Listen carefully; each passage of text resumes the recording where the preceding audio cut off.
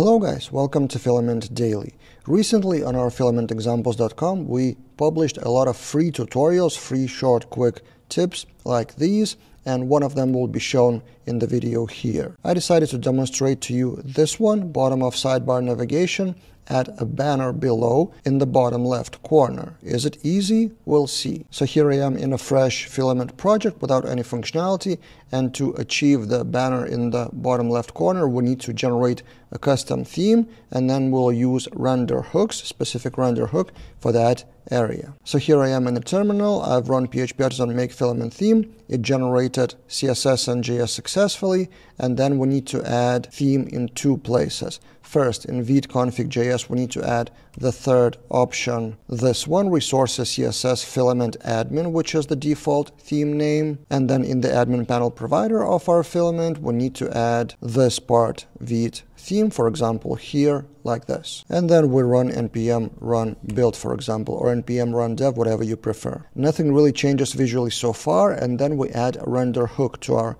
admin panel provider in wherever here. For example, after vite theme, I will paste it from my notes. We have this render hook. One of the hooks is sidebar footer.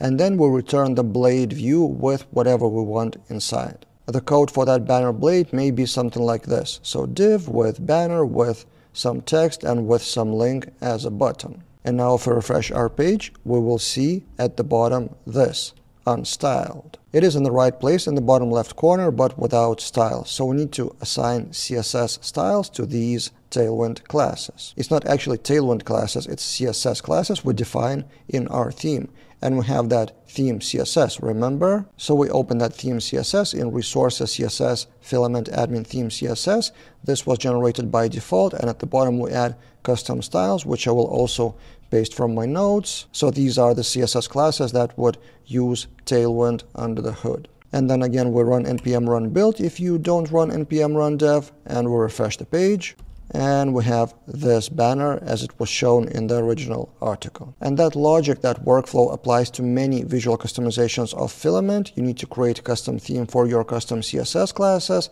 and then use render hooks in the admin panel provider to add your own HTML in the places that you want. You will find more free tutorials like this one if you navigate to filamentexamples.com. On the homepage, it's on the left side, or you can navigate to tutorials and see more. These are all free, no registration needed. Premium are only the projects that we sell that are actually bigger projects with their repositories on GitHub. That's it for this time and see you guys in other videos.